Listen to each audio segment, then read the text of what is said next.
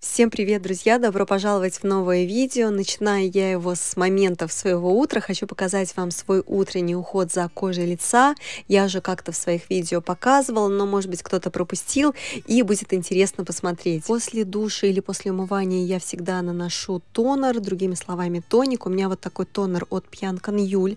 А раньше я не всегда наносила тонер, но на самом деле во время умывания у нас нарушается pH кожи, и вот чтобы его восполнить, привести в норму, то лучше всего наносить тоник. После тонера наношу сыворотку. Очень удобно, что она у меня набирается пипеткой. Я наношу также еще на зону шеи, по возможности на зону декольте. А, вообще я очень люблю корейскую косметику и мои любимые бренды а, корейские косметические это Пьянкан Юль и Бентон. После сыворотки я наношу крем под глаза и крем на лицо и также делаю легкий массаж. Может быть, конечно, я его неправильно делаю, но я как-то здесь руководствуюсь интуитивно интуитивными ощущениями, как мне нравится. Может быть, даже со стороны это смешно смотрится, но вот у меня как-то так. Так что вот такой у меня уход за кожей лица. Всего 4 шага, как мне кажется, простых. Иногда делаю еще тканевые маски, иногда наношу патчи под глаза, но это реже, а вот такой уход стараюсь делать каждый день.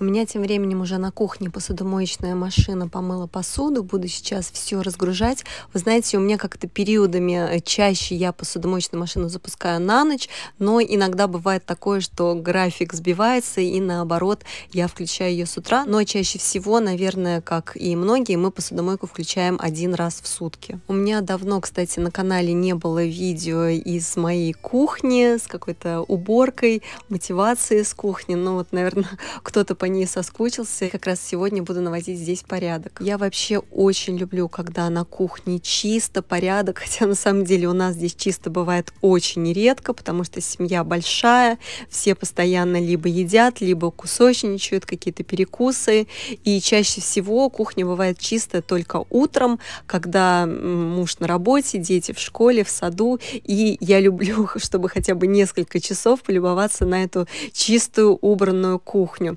Мне еще очень нравится, когда пустые по максимуму столешницы с минимальным декором, всю какую-то технику и посуду я стараюсь убирать в шкафы. А для кого-то, наоборот, это скучно, но лично мне так очень нравится. Кстати, для новых подписчиков, ребят, у меня на канале есть подробный рум-тур по нашей кухне, где я все рассказываю, озвучиваю стоимость и техники, и вообще кухни в целом, так что оставлю на это видео подсказку.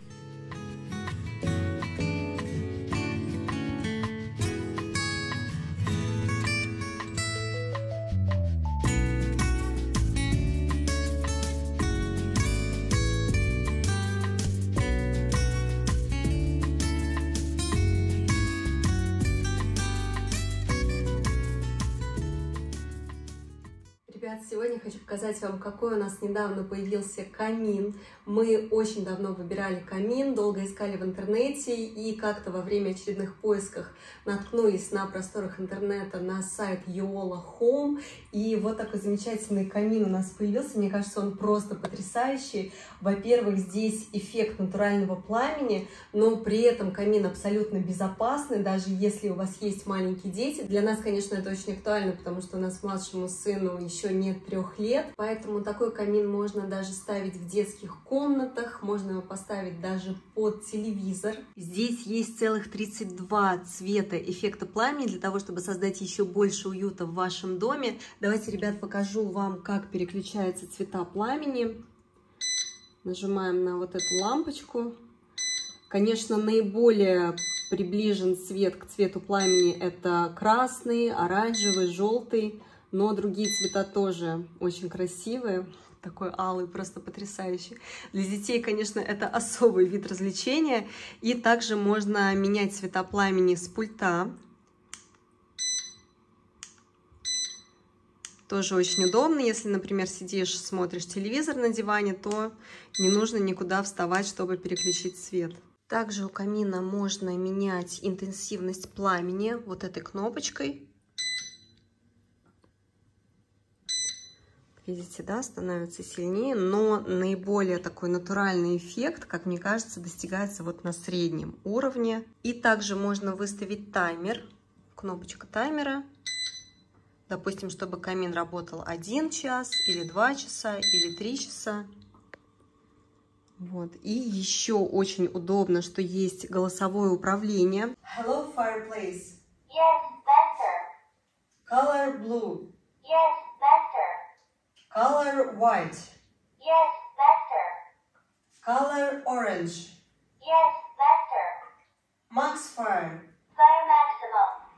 Ребят, принцип работы электрокамина с эффектом пламени основан на увлажнителе воздуха. Из емкости вода автоматически дозируется в испарителе увлажнителя. При испарении воды образуется пар, который подсвечивается специальными световыми лампами и тем самым создается эффект пламени и дыма. Получается, что заправка камина происходит в полуавтоматическом режиме, но также есть возможность подключить камин и к центральному водоснабжению в доме и вообще не беспокоиться о заправке. И сразу скажу, что пар из камина камина лишь немного меняет влажность в доме, так что если у вас сильная влажность в квартире, в доме, то не стоит беспокоиться. И хотела вам еще рассказать, как заправлять камин. Я первый раз заправляла с помощью обычной покупной воды, но, конечно, лучше всего, как и любую технику, заправлять дистиллированной водой, чтобы техника, чтобы камин прослужил дольше.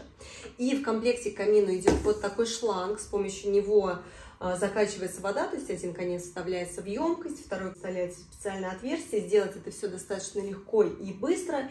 И также, если камин нужно переместить куда-то в другое место, например, перевести на дачу, в дом, то можно воду выкачать из камина. И на полном баке камин работает целых 14 часов.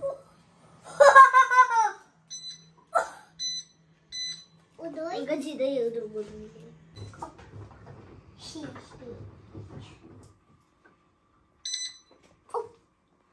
Огонь. Другой что? Тут течет кое-что. Где? Где там течет? Вот, смотри. Вот он, сиденый. Вот ты! Ребят, если вы тоже ищете себе камин, советую вам присмотреться к каминам Yola Home. Ссылку на их магазин я прикреплю внизу в описании под видео. И также по моему промокоду будет скидка 10%. Вам нужно лишь при оформлении покупки сообщить промокод оператору.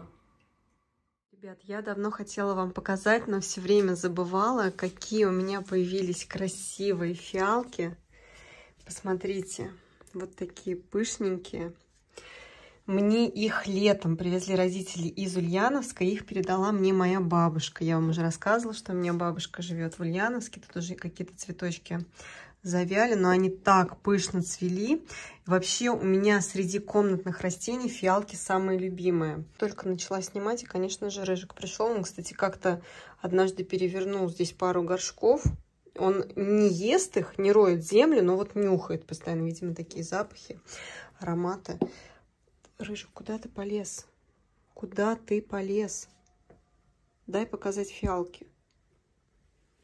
Вот так вот, значит, да? Вот, наверное, он и в прошлый раз вот так вот, наверное, ходил, горшки перевернул. Так, Рыжик, можно я тебя пока вот сюда перемещу? Вот, вот сюда тебя перемещу и покажу моим зрителям фиалки. В общем, у меня у бабушки, видимо, такая легкая рука, потому что, что бы она ни посадила, все растет, а у меня, знаете, фиалки постоянно гибли. И вот это, наверное, первые фиалки за всю мою жизнь, которые у меня уже простояли, ну сколько, наверное, месяца три. И они вот такие пышненькие. Я сначала думала, может быть, пересадить их в горшки, потому что они посажены в такие простые пластиковые упаковки. Но мне бабушка говорит, нет, лучше их не трогай, э, пусть они растут. Если захочешь, то просто возьмешь листочек и уже отсадишь его, и там уже посадишь в горшок. Вот, так что такая красота. Э, я еще из комнатных растений очень люблю замиокулькас, например, но вот все-таки фиалки я люблю больше.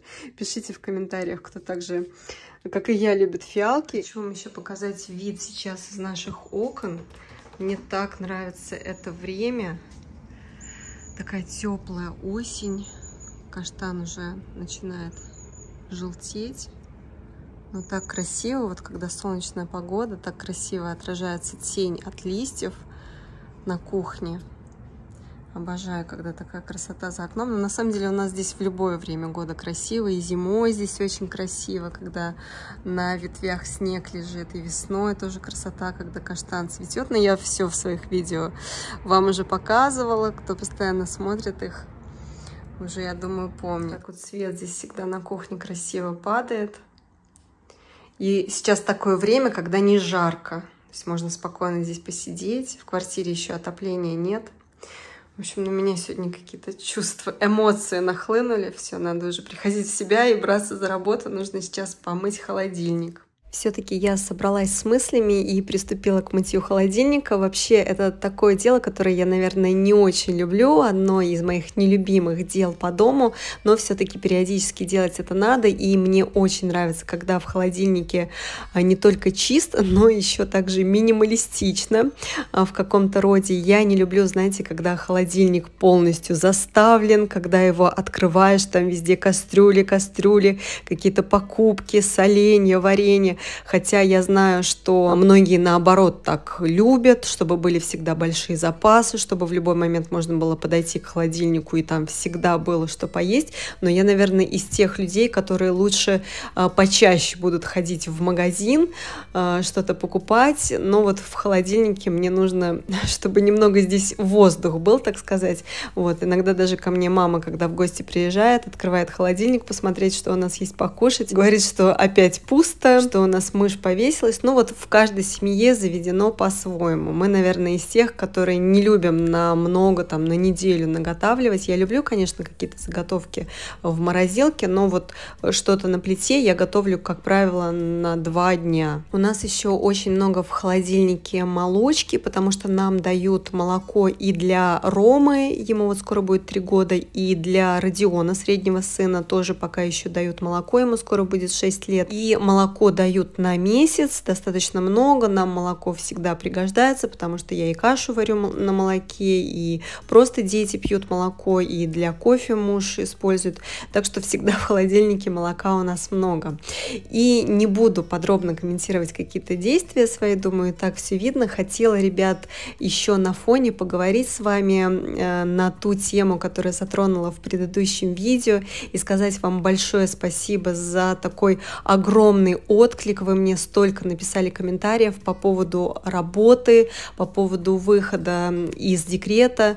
А, кто-то поделился своим опытом, потому что сейчас в конце ноября передо мной встанет выбор а, выходить на работу после шести лет декрета, либо писать заявление об увольнении. И я все прочитала, то, что вы мне написали. И один из первых комментариев мне девушка написала, что а, развивайте свой канал, набирайте аудиторию, берите больше рекламы наверное, вот этот комментарий наиболее лучше отражает мое на сегодняшний день состояние души. Я действительно была бы очень рада, если бы мой основной источник заработка был мой канал. Я понимаю, что не все, да, скорее всего, наверное, многие не любят смотреть рекламу, кого-то она бесит, хочется быстрее перемотать, многих она раздражается, люди пишут комментарии, что опять это реклама, что слишком много рекламы в видео. Но я думаю, что вы уже не от одного блогера слышали, что э, съемка, монтаж видео – это э, колоссальная работа, это отнимает много времени, особенно монтаж. Я всегда говорю, что снять – это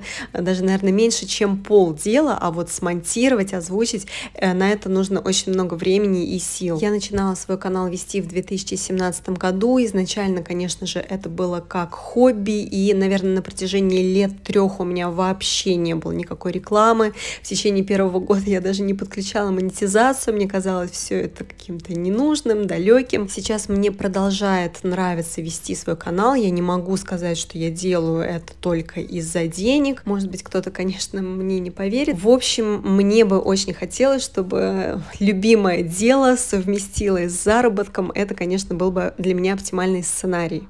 Закончила я наконец-то, навела порядок в холодильнике. Вот так вот все сейчас выглядит.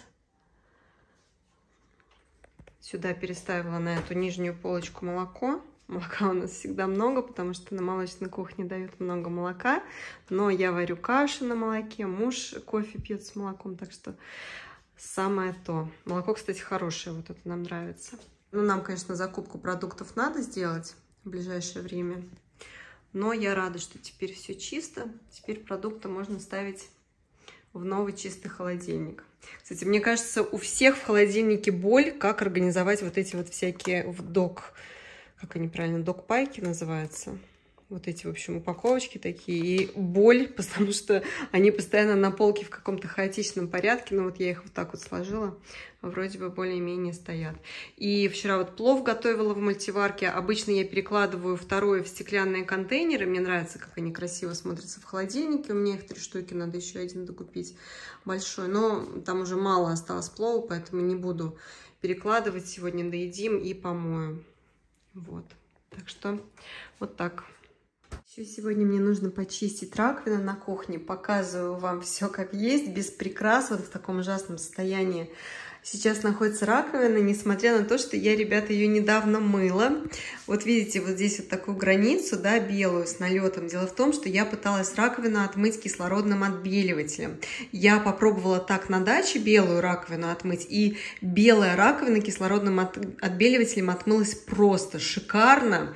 Просто там я вам уже рассказывала, да, что нельзя никакую химию использовать, потому что у нас лос, и кислородный отбеливатель прекрасно справился. И я, значит, по тому же принципу думаю, дай-ка я помою черную раковину в квартире, потому что она очень сложно отмывается, даже Силит Бэнк ее не берет.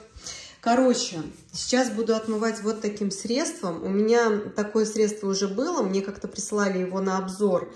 И я как-то сначала скептически отнеслась, а потом оно мне так понравилось, что я даже перестала покупать Силит Bank. Отлично справляется вот именно с таким белым налетом известковым. Если что, ребят, это не реклама, потому что сейчас я заказала уже на Озоне за свои деньги. Стоит всего 200 рублей. Вот реально очень советую. Я еще отмываю им также сантехнику в ванной комнате. Так что давайте сейчас вместе со мной посмотрим, отмоется это или нет.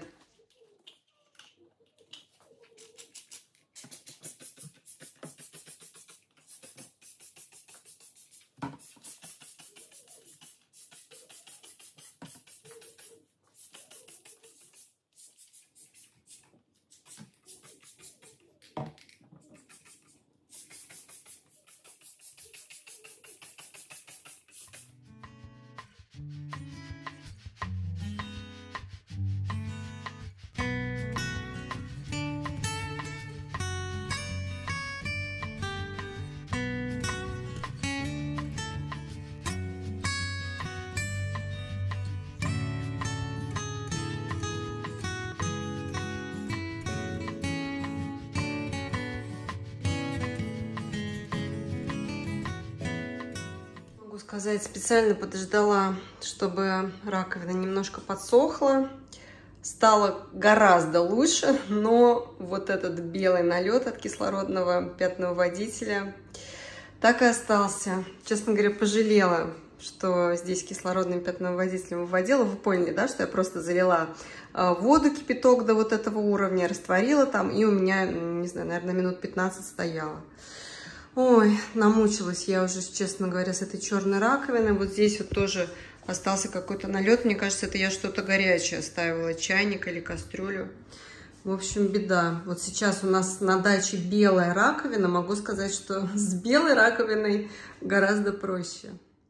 Друзья, на этом я буду заканчивать это видео. Если оно вам понравилось, поставьте, пожалуйста, пальчик вверх. Также заходите, подписывайтесь на мой телеграм-канал. Там я стараюсь каждый день что-то выкладывать, либо полезное для вас, либо наши новости. До встречи в новых видео. Всем пока!